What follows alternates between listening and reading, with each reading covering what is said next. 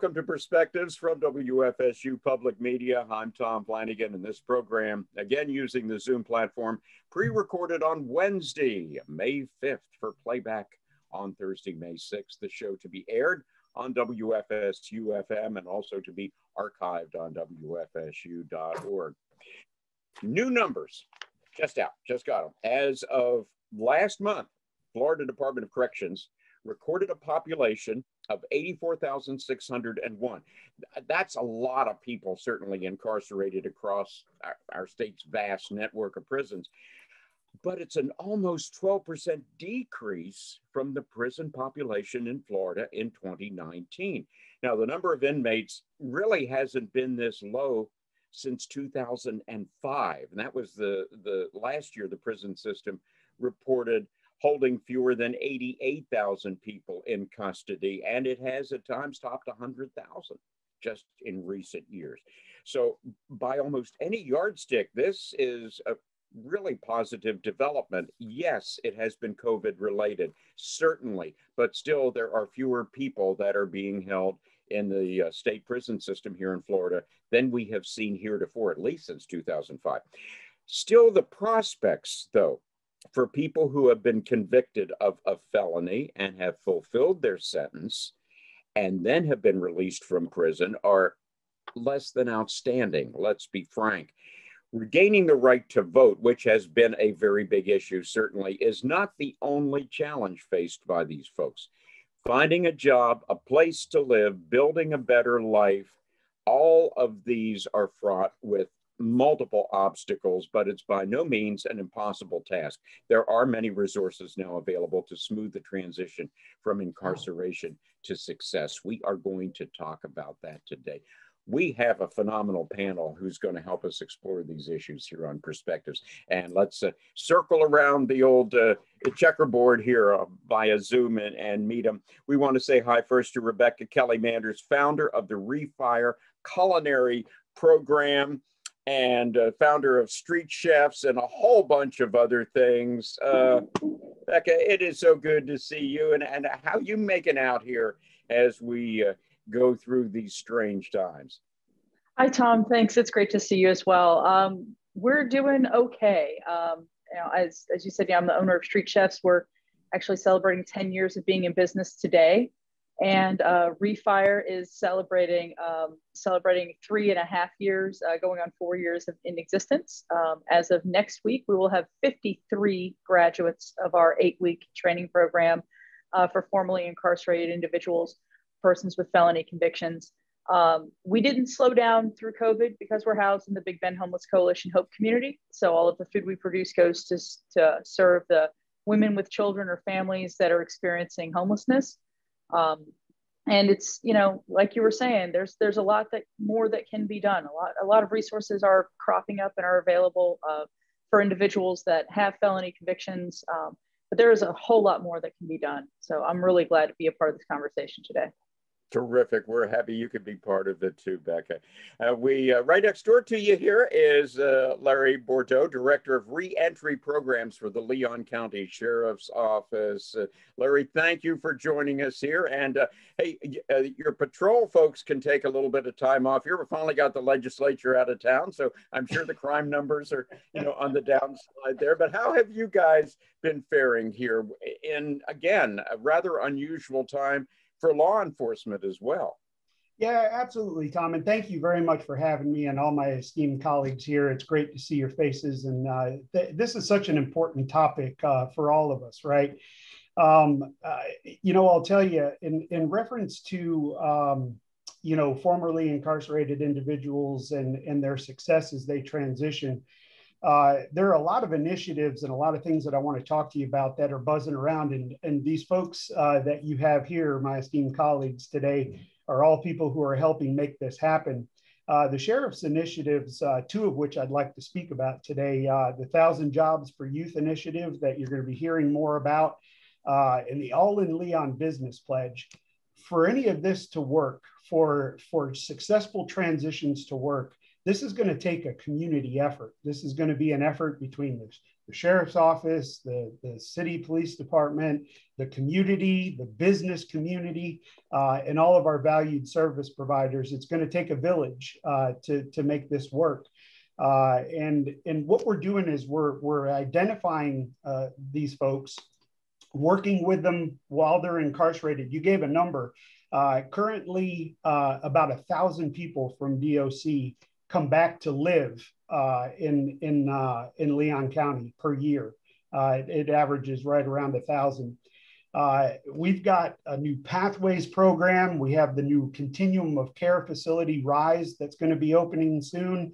Uh, and these are all going to be ways in which we are going to try to take continuum of care to the next level to help make uh, uh, successful transitions occur. So I'm excited, completely excited to, to talk about all these things today.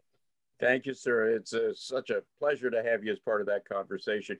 Of course, you got to have jobs. You have to have gainful employment for folks to look forward to something other than whatever they had been doing before. And that's where we have uh, Don Papania, the owner of uh, Carver's uh, Discount Dry Cleaners, as one of the suppliers of the, those kinds of gainful and employers here in the area. Don, thanks for joining us here and, and talk about your business first off. Uh, just before we started rolling on this, you had mentioned that it had been a challenging time for the dry cleaning business and uh, your place in particular. So, uh, how have you been surviving and how are you moving forward? Sure thing. First, uh, thanks for having me on, Tom. I greatly appreciate it. I'm, I'm thrilled to be part of this team.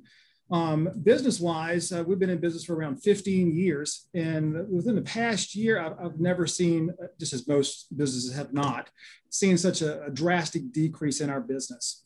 Um, and as mentioned earlier, you know, it's basically the people who are going to work. So if you're not going to work, there's no need to get your clothes dry cleaned or washed or pressed and those type things um, everybody that uh, was attending the, the, the, fun FSU games on the weekends. We lost all those folks. And the folks that were going to church on a Sunday, we were losing those folks. But good news is we have definitely seen a, a strong rebound in our business, um, which I, am thrilled to say.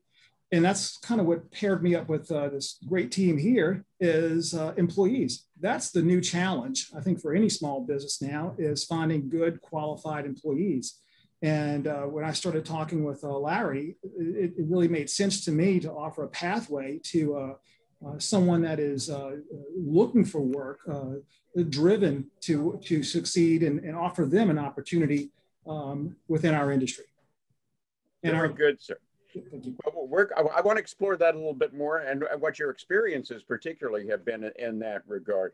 Uh, we, we have a couple folks here. They are board members of the Big Bend uh, After Reentry Coalition. And uh, all you are uh, first. Talk about your involvement in the coalition and, and uh, how you see that playing out. Gladly. Good morning. Thank you so much for having us because we all feel like this is such a fundamental discussion. I am so privileged, so fortunate, and continually inspired by the folks in our coalition. Um, I've been with the coalition since the beginning in 2012 when we met um, as a small group of community providers who are working with people reentering from incarceration. And we've just grown and continued to build networking, collaborating, um, learning about all of the services that are available in the community, um, developing resources to help employers, to help um, people um, looking for services, to find out what's out there, and mostly empowering people to become productive and have positive and successful experiences after incarceration. Um, so I'm, I'm eager to share some of the resources that we've developed and to let people know how to get in touch with us because we are very welcoming of anybody in the community who's interested in this issue, whether or not you're involved with an agency or already doing this work, or if you're just interested in learning more and would like to be a mentor or would like to volunteer with a local organization. So I'm, I'm excited to be able to share uh, who we are and, and what we have to offer you have a board colleague that you brought on deck too, Rashad Simon from over at the FSU College of Law. Rashad, and how did you get involved in the uh, Big Bend After Reentry Coalition? So yeah, I'm actually a recent graduate of the uh, University College of Law. So a little baby lawyer over here. Um, and one of my professors is actually a, a uh, board member as well. And she, you know, just invited me to join this coalition because um, she knew that I was really interested in this work and that I wanted to do more in my community. And from there, this kind of beautiful pathway evolved um, for me to get more involved in the community and to do more of this work. For many folks who aren't aware, of Rashad, uh, the College of Law has, besides being an academic institution and a training ground for new attorneys, also has been heavily involved in a lot of advocacy, whether it is talking about the uh, essential enslavement of people and uh, children, particularly in West Africa, uh, children under the age of 12 uh, being uh, tasked with life sentences in the courts, a lot of things going on over there. So to have that resource being brought to bear is a, is a very powerful thing too. But speaking of power, Disc Village has been a, a major factor in our community in rehabilitation and uh, getting people on, back on the right track for many, many years. Freddie Rouse, you are uh, certainly um, part of that effort as well. So talk about how Disc Village helps folks who have been through the uh, in the incarceration uh, pinwheel. Um, basically, um, Disc Village provides a number of services, individual and family counseling in the areas of parenting, anger management, substance abuse, self-esteem, and mental health. Uh, the primary goal is to um, help any individual that may be dealing with any type of um, you know issues that they need help with the counseling uh, once they return back into the community. But my um, niche in this thing is that I was working for a organization called Living Stones International. That's how I got involved with BARC um, through my mentor, uh, Pastor Gary Montgomery.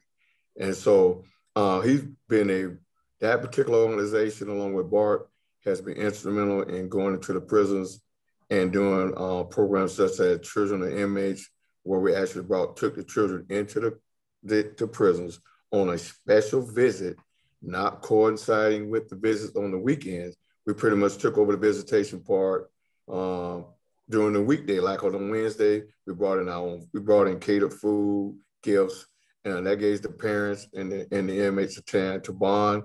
Then once we we left the uh, institutions. We actually took the families to a little fun outing. We might take them bowling or to some type of park just to uh, let them know how much we appreciate them being uh, a part of our our program. So um, that's that's my niche. I, have been doing this quite a bit, dealing with inmates. I'm currently a facilitator for with uh, uh, doing 24/7 dash with Carter's Corner. So I actually go into the to the prisons and facilitate a group for of men who are who are fathers who are on their their way back into society, just to give them some um, additional tools um, to make them aware of how important it is to be a father to the kids, even though they've been incarcerated, they can um, reestablish that bond, and that's sort of what Disc Village does, also reconnecting families, reunifying families.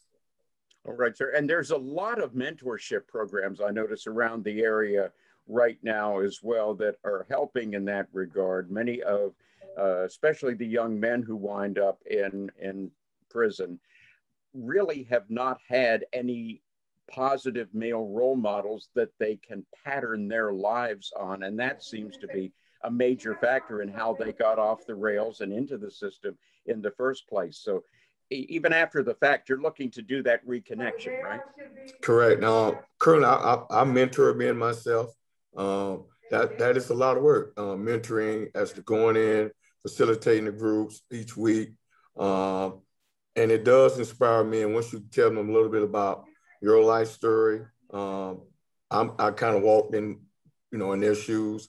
I like to inspire the men to come out to be uh, better fathers, better to themselves. Uh, like, like I told the group last night, I like the phrase "build back better," meaning I want to build back your life better uh, getting back on the right track, but also being committed to your um, uh, resurrection from coming out of prison, being transitioning back into the community, also reconnecting you with jobs, housing, and other resources that we that we can um, connect you to. So yeah, I'm a mentor myself. I, I, I meet a lot of guys that I have um, encountered who have come out and, and just as you stated earlier, I have some success stories of men who have um, bought into the concept and what we, we implemented and, and, and given to them to come out to inspire them to be better than what they were when they went into the um, to uh, the Department of Corrections we're definitely going to go all around the, uh, the, horn here and talk to everybody about any uh, stories that they have along those lines because those are always inspirational. Rebecca Kelly Manders, though, I want to ask you with the pullback here in the in the restaurant industry that we have seen during COVID, has that made things a little bit more challenging for the refire program? Because you get these folks trained and uh, I, I have seen through a number of visits out there to uh, uh, your uh, your school, your training facility, and also graduation. That these folks can crank out some incredible culinary masterpieces. But is is that placement now more of an issue than it was? Actually, no. Um, every graduate that we had uh, in 2020 that was uh, able to work or felt comfortable going to work in the COVID environment um, got employed. There were only two graduates that we had last year. Um, one is uh, a little older and has some underlying health issues and wanted to wait till a vaccine was available. Um, and one had some transportation issues. But the rest of our 21 graduates from last year um, were all able to secure employment. Uh, so we didn't have a problem during COVID, uh, which was kind of shocking. Um, but you have to think that a lot of restaurants did that really, um, you know, that 180 degree kind of flip to, uh, you know, to the to the curbside, to the to the carry out model. You know, after the initial first four, four to six weeks of uh, of the pandemic, everybody, you know, got you know into that shift and realized that this is going to be around a lot longer than we thought it was going to. So let's figure out what we need to do. And now I have anywhere from four to six restaurants calling me on a weekly basis asking me when the next round of graduates are coming out um, i can't graduate people fast enough um, to get them to get them jobs it's it's there just there is such a need for people uh, in, in every sector right now but especially in the service industries the hospitality industry um, so i have a, a guy graduating next week and he's pretty much going to have his pick of where he wants to go work just based on the number of restaurants that are calling me saying, I need somebody, I need somebody today. Who do you have? That is an incredibly transformative statement. And I'm thinking, Larry Bourdeau, that is a real flip on what we have seen traditionally, which is what is one of the first five questions on any job application? Have you ever been convicted of a felony? And usually that was the kiss of death. You said yes to that you are out of there, regardless of what other qualifications that you might have. Why has that changed, do you think? Well, you know, sometimes I think that uh, we evolve for the better, right? And and so what we've noticed is that one of the core key components to someone's successful transition is gainful employment, right? And so one of the things that we're, we're doing at the Leon County Sheriff's Office, and we can't do this without our service partners and, and, and all the great people you're, you're talking to today, we're starting a transition plan for everyone who has a transition date. We have a transition plan, and that plan, one of the key components is to making sure that they have the resources necessary to be able to survive when they go out into the community, that they have the resources necessary, that they're able to uh, uh, become as self-sufficient as they can as soon as they can. Uh, and, and a big component of that is gainful employment. So what, what we at the sheriff's office have, have uh, looked to do is we have recruited businesses, businesses like Carver's uh, with Don, uh, you know, who have come to us and said, we believe in this. We believe in giving someone a second chance that that initial uh, uh, you know mistake that they made. We believe that people can and do change. And and starting from there we develop relationships with the business community and we have them come to the table. They take a pledge that they believe in what we're doing uh, and that they are interested in allowing our our formerly incarcerated to vie for jobs when they have them available Uh, and really, these, this is it's become amazingly successful. And you're right, Tom. Uh, the transformation the transformation is heading in that direction. I'll tell you uh, just real quick.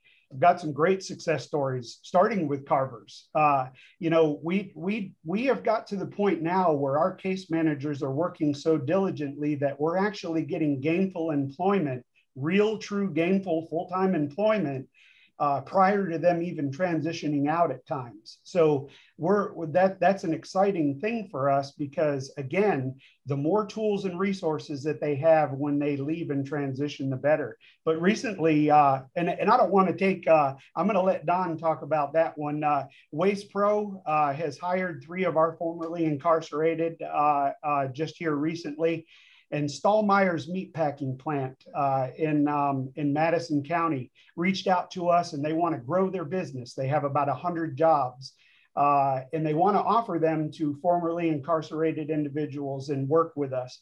Uh, just recently, seven uh, of the, uh, of the uh, 100 that they intend to create have been hired. And of those, uh, three of them were currently incarcerated and getting ready to uh, transition out when they were hired. So, uh, what an amazing uh, time it is to see uh, the amount of businesses that have stepped forward and, and are ready to take that pledge and partner with us to help make these transitions more successful. That's terrific, Larry. And Don, no pressure there after that setup. but uh, tell, tell us that that story, that success story that Larry just referenced. Well, I was in uh, need for a, someone to press our clothes. You know, we, we wanted to add to that team because, as, as I mentioned earlier, our business was improving. And uh, Larry and his team had uh, mentioned that they had a, a, wonderful young woman that was getting ready to, to, to come out. And uh, invited her in for an interview, spoke with her, and I could not have been more impressed. Um, to this, she's actually here working right now, and this is day three. And um, I'm talking about someone that is willing to adjust their schedule. And back up a second. You got to keep in mind as the business owner, these folks are just coming out of being incarcerated. And on day one or two, they're at a job interview. You're asking them to work a, a schedule with certain hours. So it takes a little bit for them to say, absolutely, we'll take the job, but I also need to figure everything else out. We worked with uh, Cassandra's actually her name, um, a little bit on those uh, those few things, working those out, and within a day or two, this woman has learned how to operate a mechanical press. Um, your shirts are coming out, or customer shirts are coming out absolutely beautiful. Um, I'm offering her more hours, more time, more pay. Could not be could not be happier. Um, on top of that, outside of just Cassandra, I think as a business owner and someone hiring uh, within the labor force, the things you look for is uh, loyalty. Someone that is going to be appreciative of the opportunity that you're that you're providing them, uh, uh especially to a team that's welcome as well. I see that from all these folks that come in uh, and want to work. So I think it's an awesome talent pool. I really do. I think it's one that's been overlooked for for for, for too long. And uh, what are the beyond the specific skills that are necessary for a, a job like Don's, you know, working the press and figuring out which chemicals apply to, you know, various cleaning situations and all. Beyond that, what are the life skills that a lot of these folks need and how can they kind of catch up on those? Because many people just, I mean, even balancing a checkbook might be an insurmountable task for some folks. Right. Think, right. I'm sorry. Go ahead. No, I was just going to say uh, that's another part of, of, of the owner wanting to take the initiative to, to assist them as well.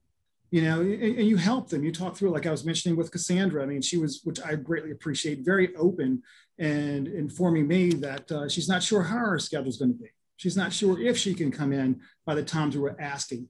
But if as, as a person to person, you, you offer assistance, you talk through it, you give them a few days to figure those things out, and they eventually do figure it out. And once they come into work, you follow up with them and ask them, just as you would another employee, how are things going? How can we adjust? How can we make things better for you? Um, she happens to have a, I think, a six month old uh, daughter. She needs Thursdays. So we offered Thursdays off, but she can come in earlier on a Friday. So you have to just have to be able to work with people and you end up with a very good employee. No, that's terrific. And anything you want to throw in there again, I mean, just coming from DOC custody when everything is so regimented, you know when you're going to go to bed and you're going to get up and you're going to eat and all. There's no decision making process involved there. When you are on the outside, though, it's it's all up to you, as Don said with Cassandra. So, you know, how do you bring people kind of, you know, back into the mainstream again?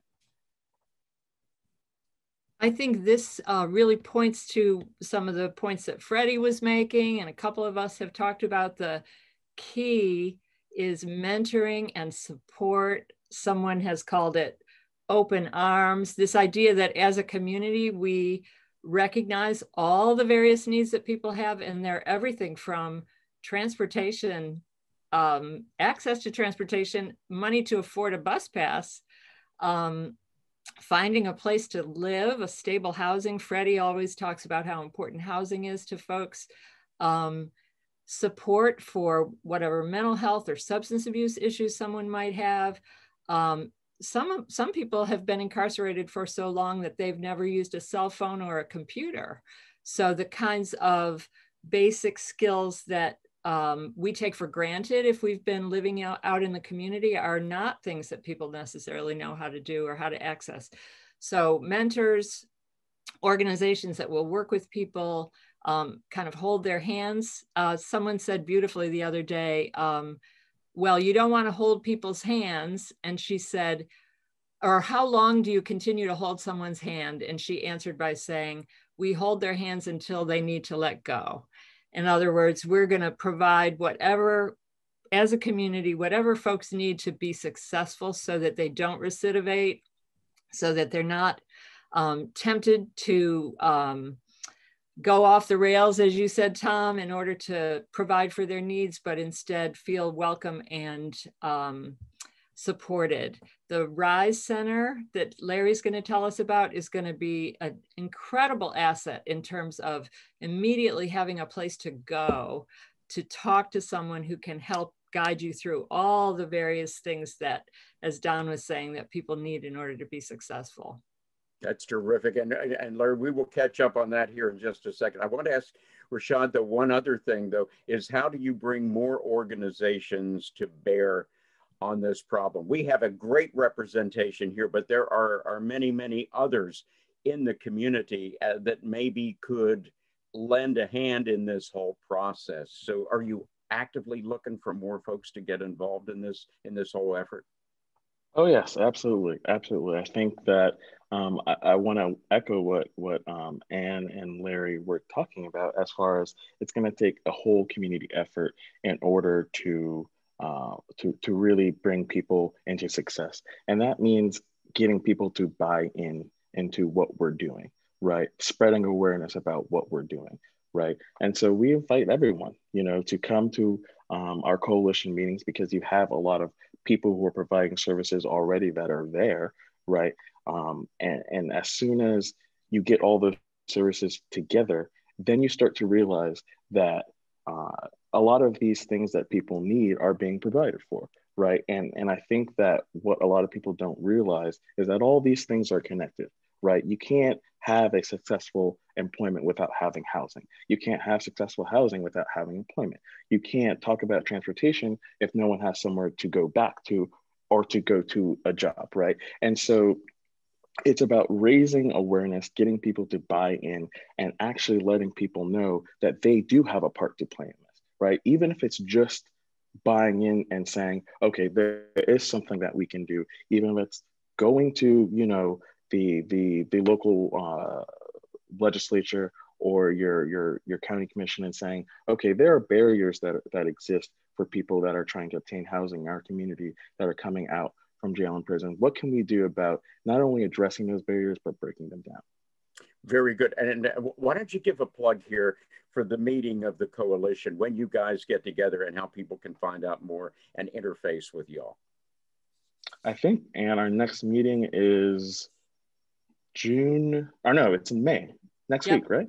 Yep. May on Wednesday, correct? And we meet, yep, we meet, thank you. We meet the second Wednesday of every month, and we've done that for 10 years now, except for July. We take July off. But the second Wednesday of every month from 1.30 to 3.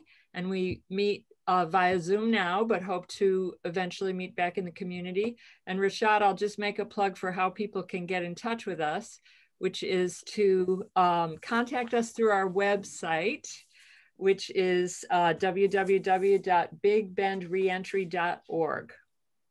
Okay. The best thing to do is just contact us that way. Tell us you're interested in coming to a meeting, and we'll put you on an email contact list and keep you up to date. So from thanks for asking about that because we love go. from which there is no escape once you're in that database. which, which, which is a good thing. Freddie Rouse, I know Disc Village does an awful lot when it comes to substance abuse programs and all. And let's face it, a lot of folks, both on the inside and the outside, are struggling with with these issues right now. What resources in the community? I mean, there are 12 step programs and all that, but uh, what kinds of things can Disc Village provide to uh, mitigate some of these issues for folks who are who are getting out and maybe tempted to fall back in again? Um, basically, uh, it depends on the individuals um, wanting to get help with any substance abuse or any mental health um, issues. Um, they can get in contact with our office and we can um, get them in contact with a uh, without what, how we will get them signed up. Uh, there may be a fee for some, but but the service, but the department that I work in is actually free. It's free counseling, but it's also voluntary. So, uh, but we do work with a lot of DCF um, referrals, uh, and that also include guys who are incarcerated who who are trying to keep their parental rights. So that and they, they have a case manager in that in that right to help them keep that open uh, for us their parental rights. But other than that, um, it's just basically on what they need and how they reach out to our to our organization for any any kind of help. All right, but that's that's sort of a holistic approach too, and that can be a stabilizing influence in the life of someone who is just getting out of, of a prison term instead of being totally blown off by their family to reconnect with with those family members as a support structure to help them as they return.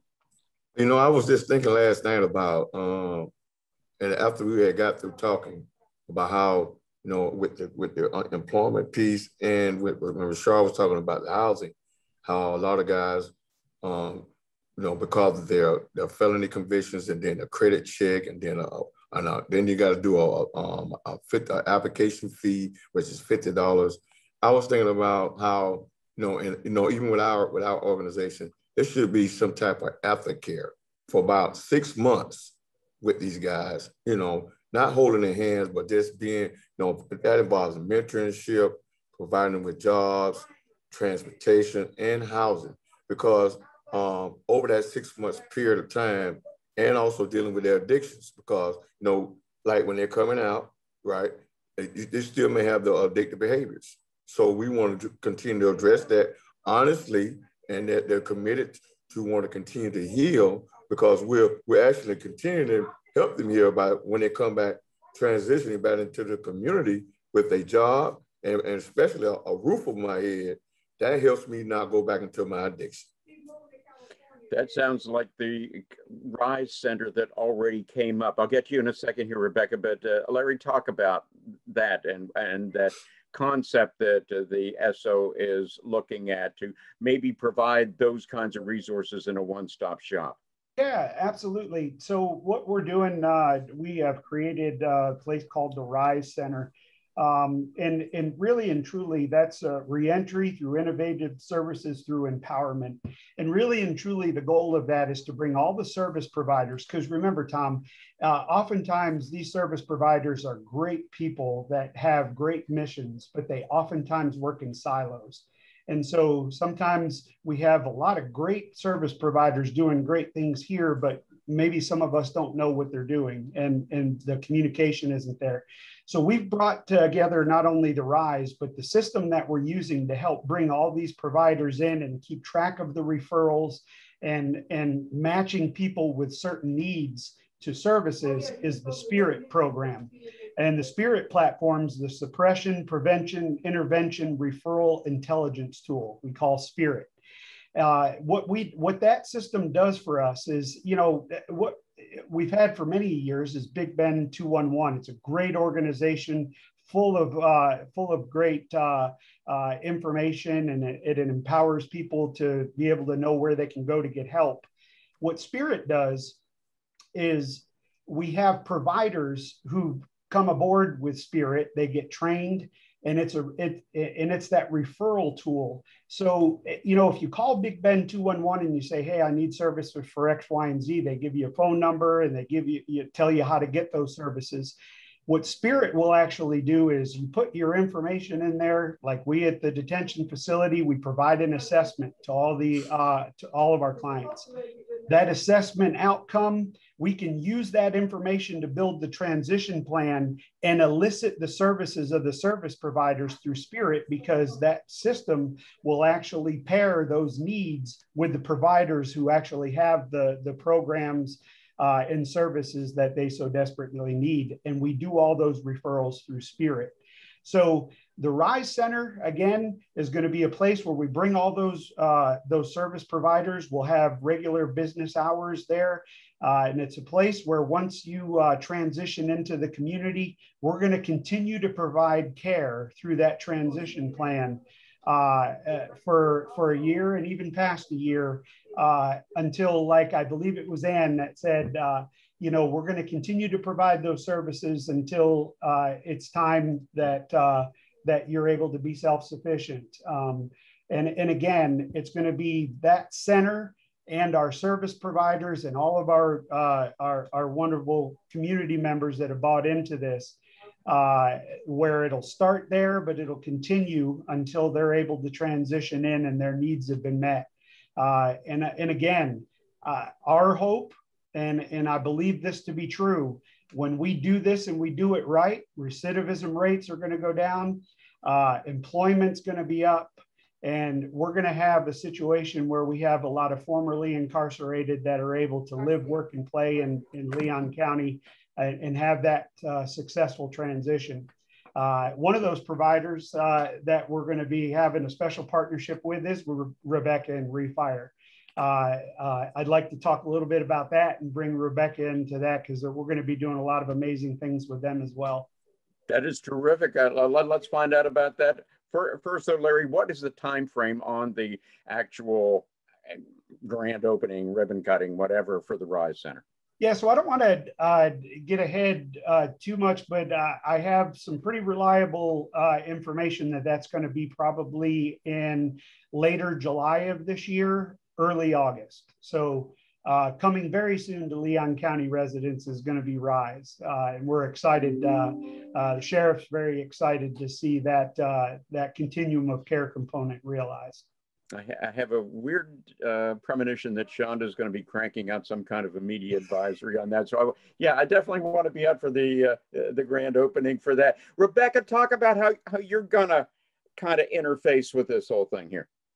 Absolutely. Well, we're, uh, you know, Larry and I have been talking about how we can uh, get the training process started for people who are in the detention center so that when they walk out of the detention center, they're they're almost ready to walk right into a job. You know, how we can take the refire model and bring it behind the walls so that we can help those that are interested in the culinary arts or interested in the hospitality field go on and get the ball rolling, get the classroom component knocked out of the way because um, my class is a 250 hours, approximately 250 hour class. And the first 80, 85 hours of that is just a lot of classroom, a lot of food safety, sanitation, um, you know, learning about foodborne illness and how to prevent it and things that you have to do to make food safely. Uh, so we can, you know, get that component rolling um, while someone is still incarcerated, while they're in the process of getting to that transition date. So they, they transition out and the next day they're in my kitchen and they're getting the hands-on experience and they're putting what they've already what they've already learned to work and I'm seeing where they are, how they flow, and getting them referred out to jobs, getting them applying to jobs. So instead of it being the eight week program completely on the outside, it's going to be a little more of a hybrid program. And that's what we're trying to work out to try and be as maximum benefit to the individuals who are currently incarcerated, as well as individuals who are coming back from state prison or federal prison who are still on probation. Um, and it's, you know, it's going to be a really, I think it's going to be a really great partnership for us to to work together because Refires the only um, peer run uh, program in the area that, uh, well, you know, being someone who has navigated the criminal justice system successfully, um, I understand what people are going through and being able to have graduates that work with me to help my current students, you know, having that, that mentoring aspect that everyone's talked about is really, I think, the biggest key to, uh, to our success rate is that people come into my program and they see that you know it's not just some pie in the sky it's tangible it's something that they can achieve and can accomplish. And um, you know you, you were saying earlier like how what kind of success stories we have. And i'm just sitting here trying to just pick one and uh, i you know i've got so many uh, incredible people that have just changed my life by coming through the refire program um, that it's it's it you know the, the gifts that they've been able to give me from that have just been amazing um, you know watching one of my graduates be able to um, she lost everything uh, while she was incarcerated because of Hurricane Michael, uh, destroyed everything where she uh, where she was living in uh, in Panama City. So came to Tallahassee, uh, came through my program, was staying with a, a, family member, was able to graduate, get a job, get an apartment, get her son back, get her driver's license back, and buy a car all within 18 months. Um, and it, just to watch her grow and you know, get those phone calls and texts from her saying, "Hey, chef, this is what I'm doing. This is what's happening. Things are great." You know, and I have another graduate who's about to finish uh, his associate's degree, and he's uh, he's spent ni- over 19 years incarcerated. He is going to become a social worker, uh, like like Freddie, and he wants to help uh, young young people and young men not take the path that he took. So you know, having just seeing all these people that get empowered is just, I think, the, the icing on the cake. And if we can get more members of the community involved, um, you know, that's more the better. Let's get some more since a time draws nigh here. Uh, and uh, what, what's your favorite success story? I know you have a bunch, but does one just pop out at you and say, boy, I, I want to share this one? I'm going to. Um, I have a lot of stories as a as a teacher. I worked inside of the jail, the detention facility for many years in different capacities, and um, always was very excited to um, share the resources in the community with folks, and then to. Um, but I didn't often follow up with them to know how they did. But they were really excited to. Um, uh, in it, well, one one thing I will say that I really enjoyed doing was practicing interviewing skills with people who are inside of the facility to give them the opportunity to talk honestly about their experience and to um, uh, recognize that it was okay to uh, tell the truth in an interview um, and to brag on all their accomplishments and to um, talk about themselves in a positive light. Um, and then to be able to let them know that there were resources in the community like Don who actually were willing to help people. So I think that actually the Rise Center is my idea of a big success story because of the fact that we're and all the reentry work that the sheriff's office is doing that is going to really facilitate that transition for folks. So can I say one more thing that's not a success story, but just a way to um, uh, help people get involved to, to segue on what some of the other folks were saying is um, I just want to say that I'm very aware that during this past year, I think a lot of people are hungry both for more information and also opportunities to volunteer and help because of the pandemic, because of racial and criminal justice issues that we've all been learning so much about. This is a great way to do that. Um, we have a resource guide on our website that gives a, a very comprehensive look at all the different agencies that are out there that people can volunteer with. And as I say, again, um, join us at our mm-hmm. meetings to meet all of these fabulous folks and learn more about what's happening. Fantastic. Don, you had your hand up there, sir. I did. I just wanted to mention one other quick thing. You know, we, we, we mentioned that we're, we're in dire need for employees. And this is another opportunity or another talent pool. But for a small business owner, there's also a tax advantage uh, to hiring uh, recently incarcerated people. It's, uh, it's titled the, the, Work Opportunity Tax Credit. And each employee could get up to $2,400 in tax credit. Uh, it's unlimited. You could hire as many uh, employees uh, as, as, needed, and you'll receive a $2,400 tax credit. uh, the way it works is it's 40% the first year, 25% the second year. So outside of helping the community, um, helping employ these, these, these, these good folks, you also can receive an incentive for doing so via a tax credit a good motivation if you needed any additional. There it is right there. Rashad Simon, any uh, success stories you'd like to share, sir? Oh wow! I mean, not not really any success stories um, yet because I'm still kind of very young in this work um, myself. But I do just want to just quickly talk about kind of the the legal side and the legal barriers that exist and and how um, people can become successful, right? And so, you know, there are 45,000 laws, policies, and administrative sanctions that exist across the, the nation that um, create barriers for people when it comes to employment, housing, and, and voting rights and stuff like that. And from the moment that you're arrested, you start to um, obtain legal financial obligations, right? And so when I say it takes a buy-in from the whole community. I, I mean that it really takes people acknowledging that you know these barriers exist and that if you want people to become successful, if you want people to become productive members of society, that you have to, like I said, address those barriers and break them down, right? And I, I am very happy that you you get the buy-in in our community from the law enforcement side because that is often a barrier in other communities where you don't have the buy-in from you know the, the law enforcement side that that uh, prevents people from becoming successful as they as they transition out of um, incarceration. Actually, Rashad, what you just pointed out was a community success story. I think.